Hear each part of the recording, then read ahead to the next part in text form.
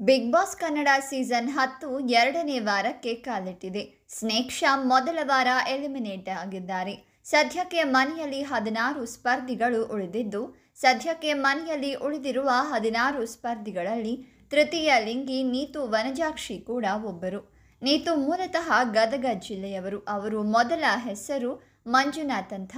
ಹುಡುಗ ಆಗಿದಾಗಲೂ ಕೂಡ ನೀತು ಬಹಳ ಸುಂದರವಾಗಿದ್ರು. ನೀತು ಬಾಲ್ಯದಲ್ಲಿ ಇದ್ದಾಗಲೇ ಶಾಲೆಯಲ್ಲಿ ಸಾಂಸ್ಕೃತಿಕ ಚಟುವಟಿಕೆಗಳಲ್ಲಿ ಬಹಳ ಮುಂದಿದ್ರು. ಶಾಲೆ ಕಾಲೇಜಿನಲ್ಲಿದ್ದಾಗ ನೀತು ಅನೇಕ ಸ್ಪರ್ಧೆಗಳಲ್ಲಿ ಗೆದ್ದು ಬಹುಮಾನಗಳನ್ನು ಗೆದ್ದಿದ್ದಾರೆ. ಏಳನೇ ತರಗತಿಯಲ್ಲಿರುವಾಗಲೇ ಮಂಜುನಾಥನಿಗೆ, ನಾನು ಅವನಲ್ಲ, ಅವಳು ಎಂಬ ನಿಜ ಅರ್ಥವಾಗಿತ್ತಂತೆ. ಆದರೆ ಆ ವಿಚಾರವನ್ನ ಅವರು ಯಾರಿಗೂ ಹೇಳದೆ ಮುಚ್ಚಿಟ್ಟಿದ್ದಾರೆ. ತಮ್ಮಲ್ಲಿ ಹೆಣ್ಣಿನ ಭಾವನೆ ಮೂಡ್ತಾ ಇದ್ದಂತೆ ಮಂಜುನಾಥ ತಮ್ಮ ಅಕ್ಕನ ಬಟ್ಟೆಗಳನ್ನು ಹಾಕಿ ಖುಷಿ ಪಡ್ತಾ ಇದ್ರಂತೆ. ಅವರ ಮೇಕಪ್ ಸಾಮಗ್ರಿಗಳನ್ನು ಬಳಸ್ತಾ ಇದ್ದರಂತೆ ಮಂಜುನಾಥ ಕಾಲೇಜು ವಿದ್ಯಾಭ್ಯಾಸ ಮುಗಿಸ್ತಾ ಇದ್ದಂತೆ ಮೊದಲು ತನ್ನ ಅಕ್ಕನ ಬಳಿ ವಿಚಾರ ತಿಳಿಸಿದ್ದಾರೆ.